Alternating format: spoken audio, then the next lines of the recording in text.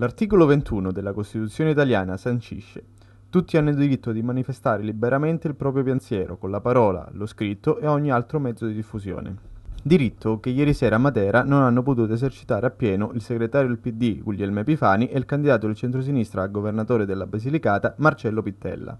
Ieri sera a Matera erano previsti due comizi elettorali in piazza, quello di Beppe Grillo, che ha potuto liberamente parlare, e quello del PD, che grazie alla chiamata alle armi del comico genovese è stato pesantemente disturbato dai sostenitori grillini. Non andate via che c'è il PD, per piacere non fatemi questo, non fate, ci rimangono male, per favore. La battaglia elettorale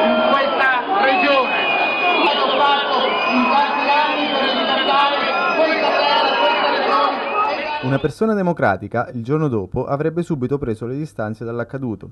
Invece Grillo ha deciso di cavalcare l'onda e con un post intitolato I funerali del PD in Basilicata ha esaltato la triste esibizione dei suoi, vantandosi di come Epifani e Pittella siano stati subissati dai fischi dei cittadini lucani alla loro apparizione in piazza.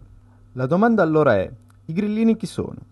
Sono quelli che difendono la Costituzione o quelli che impediscono la libertà di espressione? Sono quelli che vogliono cambiare la legge elettorale o quelli che votano contro, insieme al PDL, alla modifica del Porcellum?